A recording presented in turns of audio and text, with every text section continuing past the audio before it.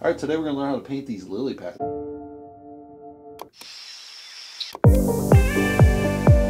right, the question of the day is, who is Claude Monet?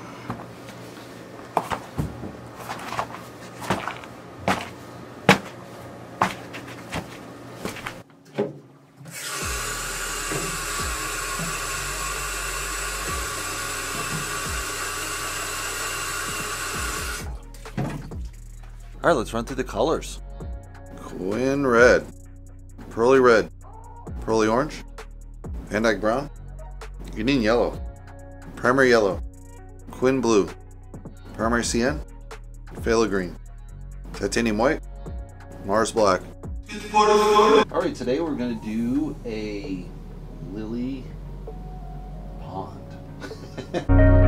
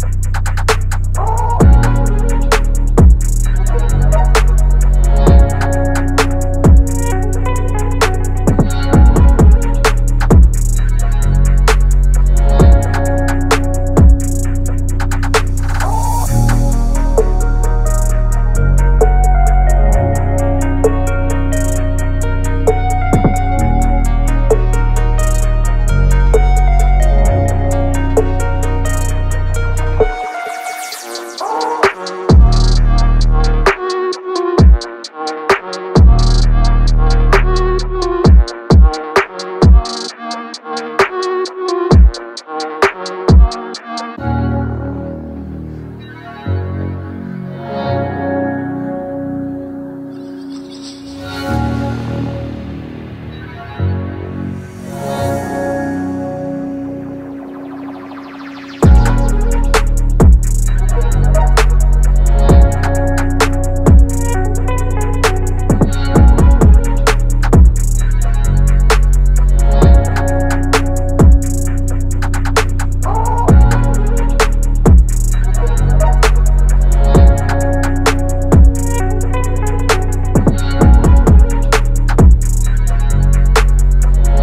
Claude Monet is obviously one of the impressionists, one of the best known impressionist painter.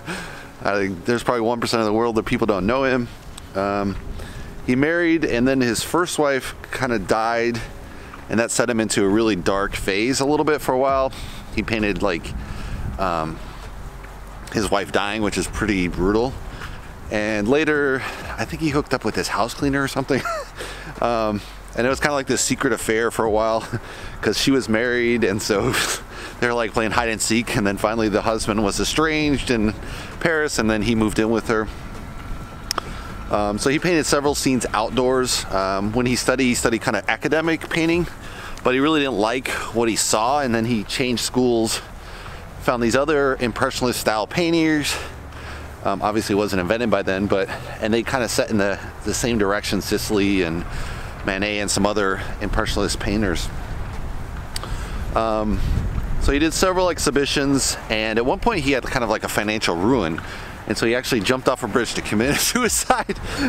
Didn't succeed, luckily. And then later he went on to paint his best work. So imagine that. You've, um, if you think about my, Van Gogh and how he got shot, maybe accidentally, maybe by himself, you know, would he have created even better work than what he had been known for and been rich in his lifetime? Who knows? Um, Monet was, you know, he struggled a lot of his life. And at the end, he started really making kind of the money, you would say. And he bought a big house, and he bought with um, this estate in Giverny with um, pond farm.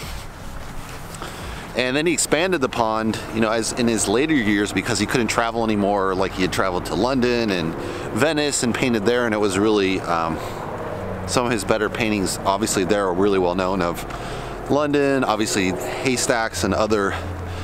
Oh well, haystacks might be Van Gogh, but Um, yeah, he's really well known as an impressionist. He's the first impressionist painter called Impression, and that's where the whole name came from. And yeah, they just resolved to paint outdoors, and this coincided with the invention of tube paints, which most people don't realize that kind of triggered this event besides photography coming up at the time. So photography came out, people were like, realism's dead, let's move on to something else. And so they moved to using this kind of on-the-spot plein air painting, which the tube paints allowed, because before you had to mix your own paints um, with the pigment into whatever material, oil, and then store it in pig bladder, so it wasn't really a pleasant experience to, to paint and store paint, so people just mix it on the fly, painting by painting. Um, in this case, the tube paints really allowed to um, really allowed people to do plein air painting, and so they really expanded on it with Van Gogh and Monet and all these other Impressionist painters. So that's kind of how Impressionism started, and that's Claude Monet. All right, we just finished the painting. Let's take a closer look. So this one has this kind of light reflection of the flowers floating into the lily pads. Um, it has a really dark background, so the only contrast really is these white flowers. With this a touch of color on them, really that white pop on a green background. Um, if I thought about it, I probably would have changed the flowers to maybe an orange to really make it pop on the green. I think it works as is. It has just a touch of rose in there, not a lot, but a little bit in there. Um, yeah, I kind of want to do like a study of obviously Monet did the famous water lily, so this is kind of the water lilies done in that kind of style, a um, little bit interpretive with the colors probably are not exactly true in this particular one. They're a little bit more lime green than you probably would really see in reality, but it does have that nice distance feel.